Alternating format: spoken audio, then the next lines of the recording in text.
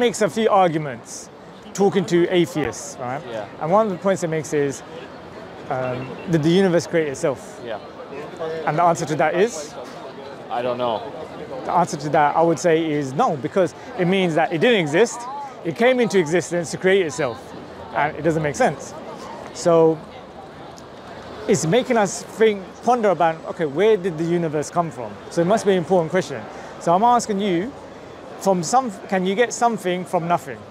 But isn't that same question apply to if a creator created the universe? Yes, because you could ask the question, what, who created God? Right. Yeah? Yeah. Or what God created God? Yeah. Yeah? And then they'd ask a question. Who created the God that created God? Right. That created God, that Yeah. created God, that created God. Very difficult So, to get to the beginning.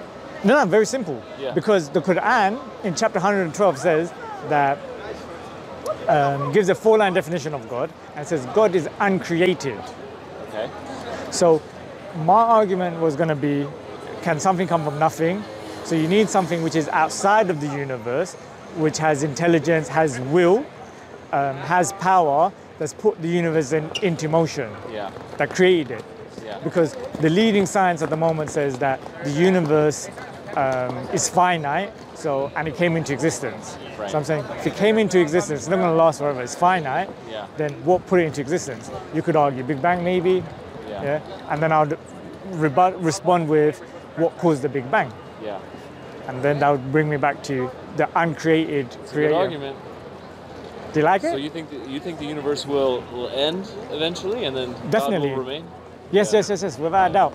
And I think that look, at the end of the day, God wouldn't have created us purposelessly.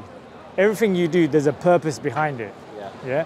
Yeah. Um, you can't give an example of something, anything that's been created that doesn't have a purpose. Yeah. So I'm saying God created the universe. Yeah. God created life on this earth, Yeah. and then will leave us aimlessly, like a va- vacant landlord. Yeah. So I'm saying no. God created us for a reason. Told us what that reason is through a perfect scripture, which you're holding in your hand. Yeah. Now, that's another argument the Quran makes that if you have any doubt, yeah, bring something like it. Yeah? This book is from God and God has preserved it. Yeah? There's no mistakes in it, there's no crookedness. Okay. How many religious scriptures, how many books in the world can claim to be perfect? And actually challenge you to find a flaw in it. And I'm saying, as someone who's born and brought What up do you mean by flaw? contradiction, mistakes, Okay. when it talks about a subject, it shows weak knowledge. Okay. I'm even putting the bar even higher. Okay. Does that make sense? Because I'm saying it's from God. God understands all subjects. So um, whenever it talks about a subject, it's an expert on that subject. Talks about embryology, it's an expert on that subject. It talks about things that it's impossible for anyone to have known 1400 years ago, especially an unlettered man, the Prophet Muhammad, who the Quran was revealed to. Yeah? It's talking, it has prophecies in it. Yeah? All the prophecies have come true. So What's the- your name, by the way? Sorry. Craig. Craig Ridwan. What's your question, Craig? So who? The theory is Prophet Muhammad just found it. No, no, no. The Okay, theory is?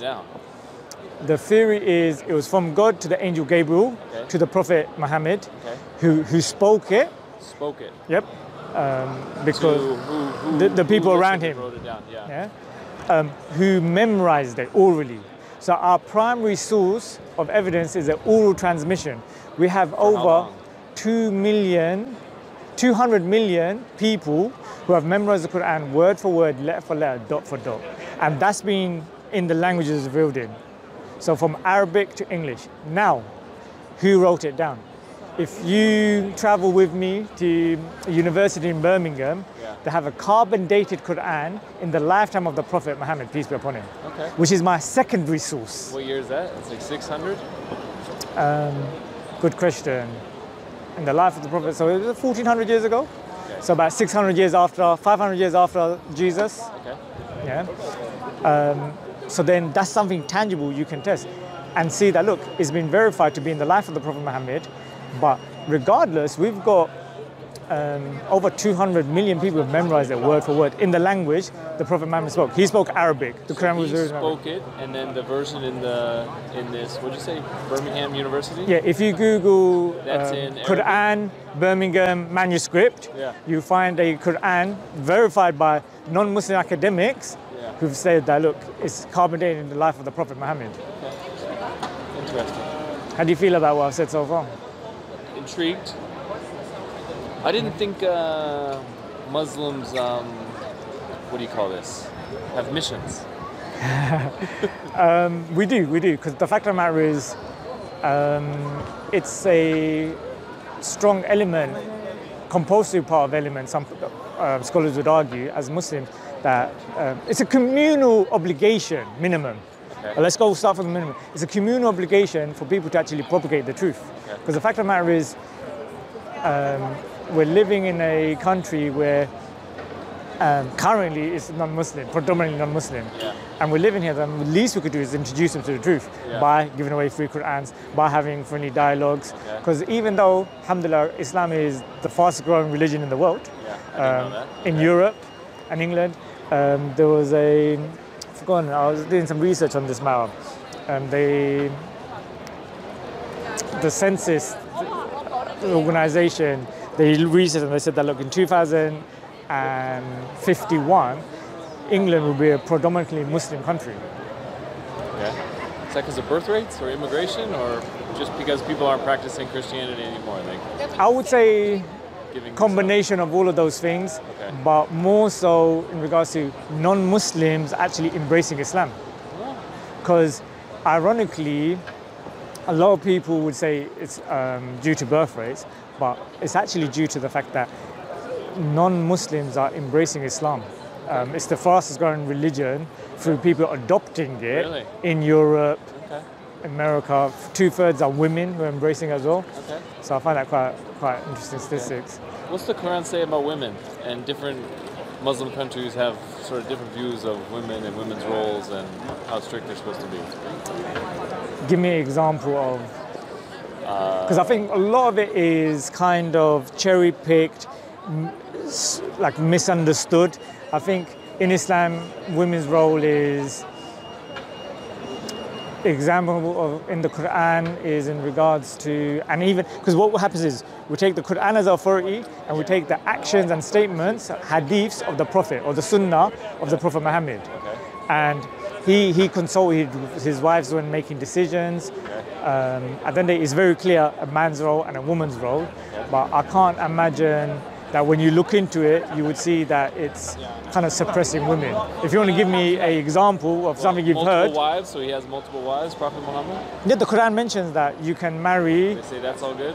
It's all good. Okay. Let me, let me tell you what the Quran says. Yeah. yeah? Um, chapter 4, verse 3 you memorized this? Of course, of course. For a man, it's very important to memorize this specific verse. No, joking. I'm winding you oh, up. this one. Yeah. Okay. Um, Four marry. verse three. Yeah, chapter four, Yeah. verse three. Yeah. Marry two, three, four women of your choice. Only if you can be just to them. Do you have an issue with that? Because the fact of the matter is, I don't. I have a feeling that some of the women might. ironically, it depends on what women you speak to. Yeah. Yeah. Yeah. Most women who are married don't want to share their husbands. Right. Yeah. However, when you ask single women, divorcee women, Yeah. single mothers, Very would poor you, women, poor women, Yeah. would you be willing to share your husband? Would you be willing to go into a co-mar- um, co-wife rela- Maybe marriage? ones who don't like their husband, yeah, happy to share. Yeah. No, some, some women, they like the idea of actually that kind of part-time having somebody to babysit, someone to, who can, they can share like, so they don't have to give 100% attention to the husband. Ironically, I was just having this conversation with my female colleagues at Can in my women workplace. have multiple husbands if they can be just to them? No, Why not? because it's not in a, there's many, many reasons. Does that make sense? Um, and it's just not in the nature of a woman. Because God Almighty, Allah, knows um, the creation and knows what's good, what goes with the nature of a man and what goes for the nature of a woman. And practically speaking, if you had a woman who had, let's just say, four husbands, Yeah. then what's going to happen? She gets pregnant. Can she meet all of the husband's needs? Yeah, she meets all of the needs, hypothetically speaking. Can her body handle it? Hypothetically speaking, she meets the needs, the body can handle it. Then she gets pregnant. Then what happens? Yeah. The other three men are just on standby Yeah. For somebody else's. Do you know what I mean? Then it's going into a whole other kind of worms. yeah, Do you know what I mean? And then it's like, can you manage that? Yeah. Okay.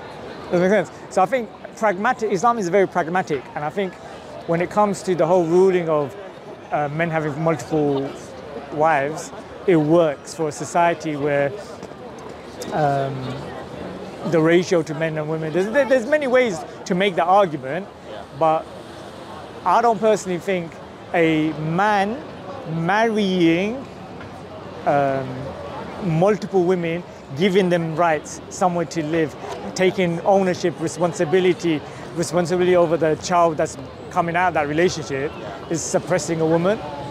On the flip side, with all due respect, we live in a country where a man can marry a man, but a man can't have two wives. Yeah. Let that sink in. Yeah. No, I I think that's strange too. I agree. Um, was Prophet Muhammad Christian before he was given this? He was he was given this verse, and that's that's when he decided to change, or what was No. what was his religion? He wasn't religious. He was religious in the sense that he prayed to God. He was he was a monotheist. Okay. and Jesus Christ, because you have to remember, Jesus Christ, oh Christian, sorry, Christian is What somebody. about Prophet Muhammad's parents? Were they religious? No, They weren't religious. no. Um, there's hadiths that mention in regards to them not dying upon belief, um, and again with Abraham, Yeah. his father was somebody who created idols. Um, so he was a he was a disbeliever. I don't know. I'm new as well, sorry. I don't even know what Magman is. So. You should. You don't you live around here? No, no, no, no. T- today's the first day we're here actually. Oh, from? Yeah. Um, East London, Oh, okay. Stratford. We're normally in Stratford. Okay. So yeah, it, it was just like more of a follower of Abraham, I would argue. Abraham. Must have been a community that he grew up in that they were believing something. Right? You don't think so? Because again, that, that's the point I was going to make. Um, a Christian is someone who believes in Christ. Yeah. Buddhist is someone who believes in Buddha. Yeah.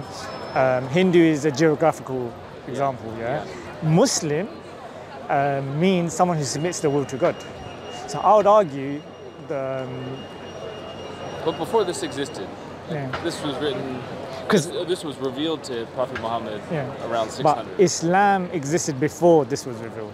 oh. Because Islam existed from the very first man, which was Adam. Oh. So it's an article. As a Muslim, Yeah. you cannot enter paradise until you believe in Jesus Christ as a messenger sent by God. Okay. You cannot believe. You cannot enter paradise unless you believe in Moses as a messenger sent by God, Okay. and Abraham and David and Yeah. Solomon and G, um, Adam and all the prophets in between. Yeah. So that's that's what we believe. But the but the let's say in the year 400, before Muhammad showed up, Yeah. the people who were following this, let's call it Islam, must have believed in Jesus as a man, as a prophet, but not as the savior. Is that you're saying there's a group of people who were kind of in this gray area for a few hundred years? So ask that question again. Jesus was around year zero, right? Yeah. So let's just take the year 400. Yeah. These people who were, let's call them Islam, because Islam has always existed, and they believe that Jesus was a prophet. Yeah. What did they believe in the year 400 before Prophet Muhammad showed up? Did they believe Jesus was not the savior? I guess they couldn't believe that. They Were they Jewish in the sense of they knew that Jesus existed, but he wasn't they, the they, they probably what happened was they affirmed the belief in Jesus Christ as a messenger sent by God. yeah, And what happens is Islam is a continuation of the monotheistic religions. So it's saying that look, there's only one God. yeah, Um, God sent the prophet Jesus, Yeah. so they testify to that.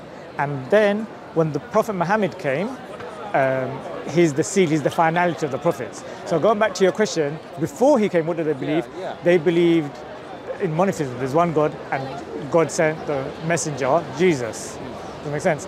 If they had detailed knowledge, then they would say that when Jesus Christ left the people and said, Look, I'm going to leave you now, or the Comforter won't come, they will know the Comforter to be the final messenger, of the, Prophet what? Muhammad. Comforter? Comforter. What's that? Um, Comforter. Comforter is, as a Muslim, I would argue that's referring to the Prophet Muhammad in the Bible. Okay. So they had a sense that this the, Yeah. the final prophet is coming. Yeah, yeah, yeah, yeah. Even the Jews now still believe The final prophet. is coming, but they yet. reject that it's the Prophet Muhammad. And you're. And the Christian- the final sorry. prophet is Prophet Muhammad. Yeah. Is it the savior? Is that the same? Would you call him the savior, or you're just call him the final prophet? I'll call him the final prophet because So I I, think no chance to be a prophet. no. Even even like Christians, even Christians, they will refer to me as a prophet. They'll believe they've got family members as prophets. I'm like, I wouldn't even call myself a messenger. I'm, I'm portraying a message, but I'm not a messenger of God. Ah. I'm just sending, like, portraying a message. Just a regular message. Yeah. So I think for us, the Islamic theology, when it comes to prophets and messages, is they need a seal from God. So you making a claim, Yeah. it's like, how do you No, I'm not going to make a claim, but I'm at least to be open. Maybe I'll get a message. You know. Maybe not. All right, I need to go. for you to get that message, right? yeah.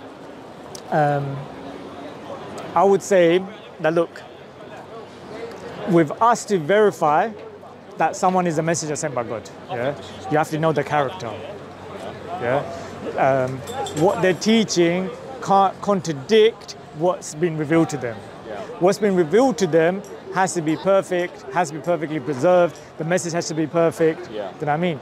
So you don't Um, believe in a lot of Mormon uh, Joseph Smith uh, getting uh, getting revealed to us? No, not at all. no. I don't either. actually. So I feel like I've spoken a lot. What, what's the takeaway from this? Like, how, how do you feel about Islam? I feel good about Islam. I don't know very much, so that's Um, What- what- what do you need to know? about this. What I do you want need to to read know? this.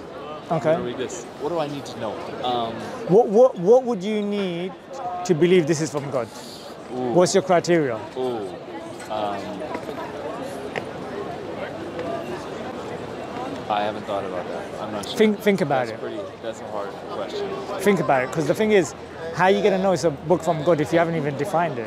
Does it make sense? So for me, like I said, it has to be perfectly preserved. The message has to be perfect. There can't be any mistakes or contradictions in it. There has to be prophecies in it. It has to talk about subjects and not make any mistakes. Does that make sense?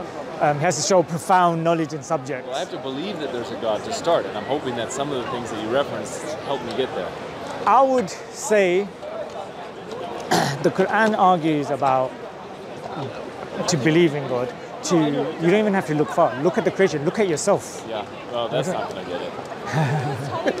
No, in the sense that look, like what do I mean by ourselves? Like not the behavior, not your concept, not the existential question, Yeah. but in the sense that look, um, Not all the things I'm thinking all the time. no, no, no, no. Just, just, just, just in regards to like. I was having this profound conversation with my martial arts teacher. Yeah. And he was saying that, look, if we didn't have a thumb, You'd be in trouble. we'd be in trouble. Literally. not, not in a martial arts sense, but in the sense that, like, we wouldn't be able to do our buttons, let alone create anything. Yeah. Look at all the technology. Yeah. Does that make sense? And Monkeys um, have thumbs. Yeah. That's a, that's, a, that's, a, that's a good question. Yeah. then it leads us to intelligence. Does it make sense? Yeah. Um, even like you know these things in regards to how we're able to see. Um, there's a rich, I think he was a multimillionaire. Um, he had a beautiful wife. He's got all the money, he got the fancy cars, whatever. But he, he was unable to blink, and he was asked the question, yeah, um, if you could do anything with your money, like what, what's the one thing you would buy or you want? And it's like to blink. You know what I mean? Because at the moment he's just putting eye drops and like we don't not realize how much of a nuisance it is, bugs flying in and all that kind of stuff. Yeah.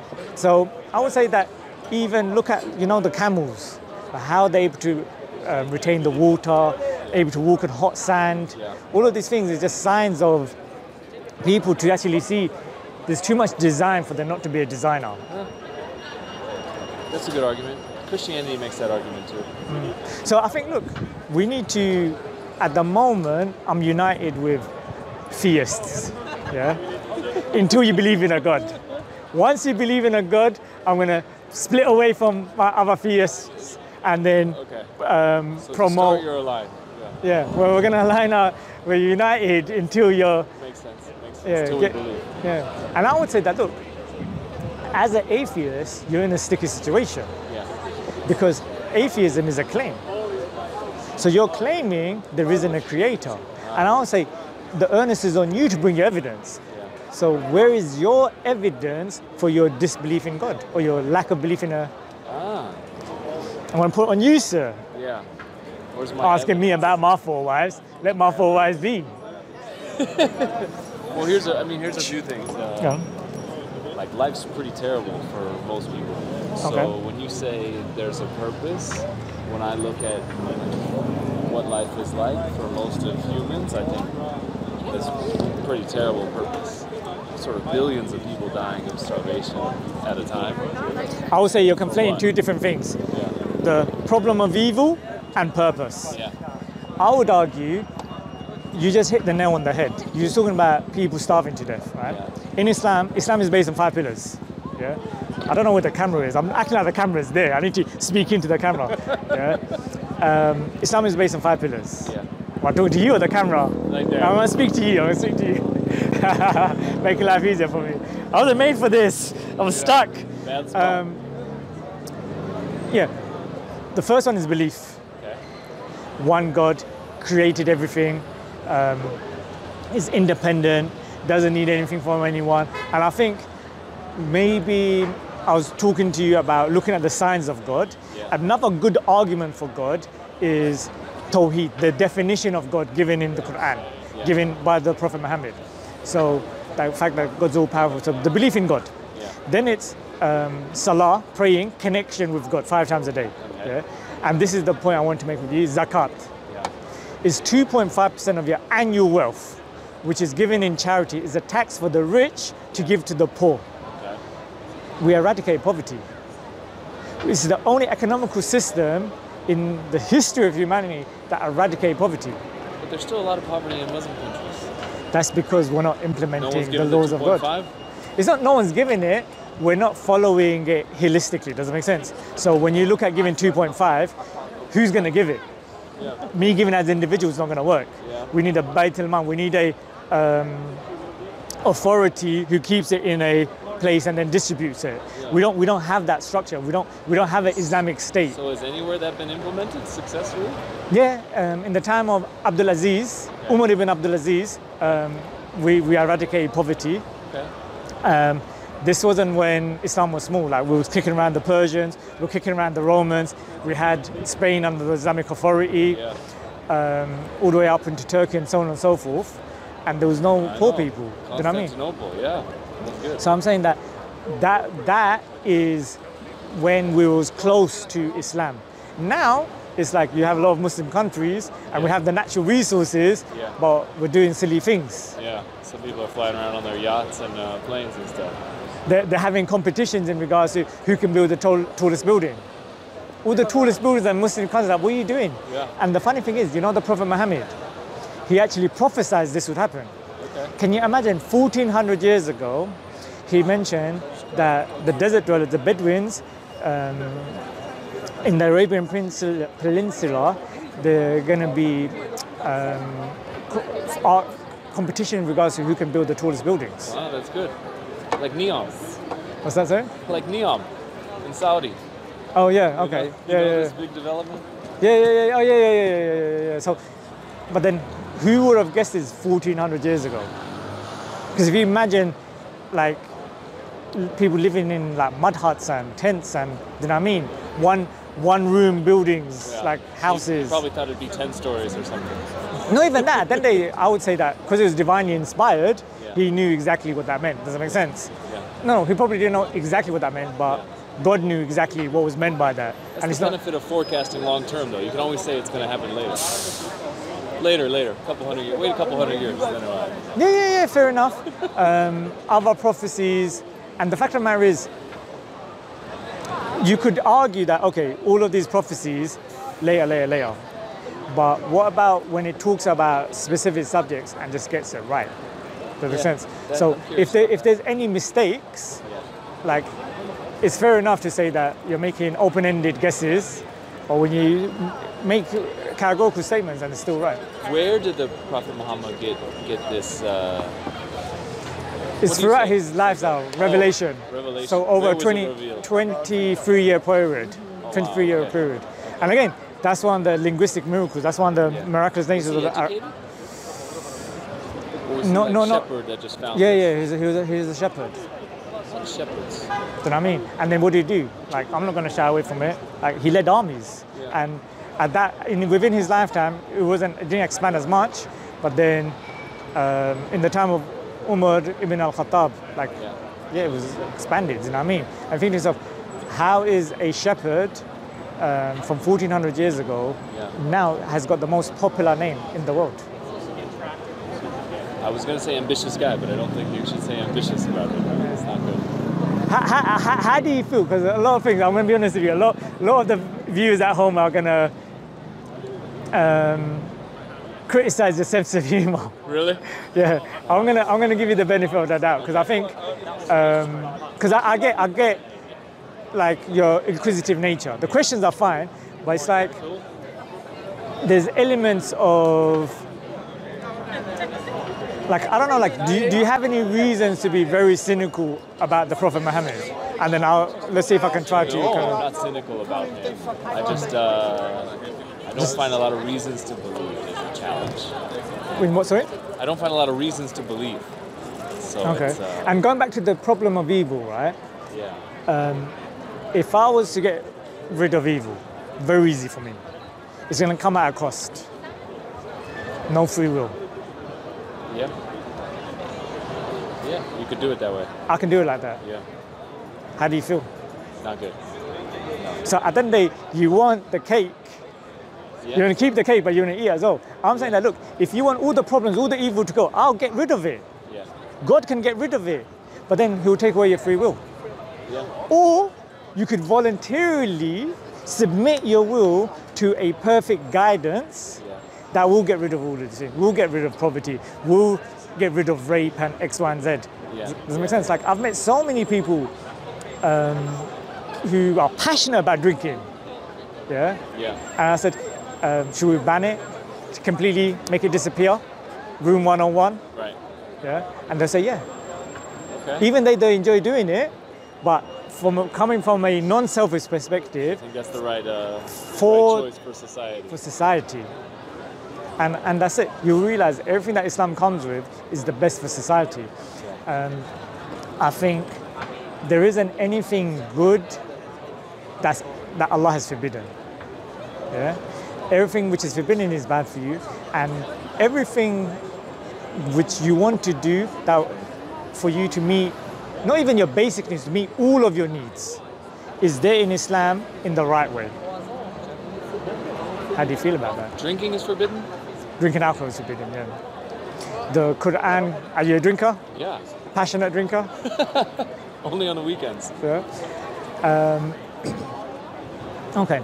Now, I would say that look, before we look into what's forbidden, yeah, the main foundation is the belief. Yeah. And then you're going to want to act upon um, the commandments.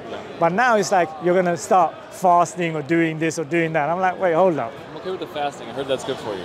Very good for you. Yeah. um, I fast because it's the fourth pillar. Yeah. And now science is saying that 30 day fasting consistently is an amazing detox. Yeah. It kills cancerous cells. Yeah. But I didn't know that. They didn't know that 1400 years ago. But um, potentially is one of the divine benefits that God Yeah. done it for. Yeah. Obviously in the Quran it says it's to create God consciousness. So right now I could act like I'm fasting. You'd like, oh, this guy's so pious. He's Liverpool Street and he's fasting. But you would never know. Well, I know it's not Ramadan, so No, no, but you can do voluntary fast. whenever you. Yeah. I But tried to. I had a Muslim boss about 10 years ago, and I tried to fast with her for a couple of days, and it was extremely difficult. A, I would say you need to know like my mom, like she's an elderly woman and she's able to fast. Right?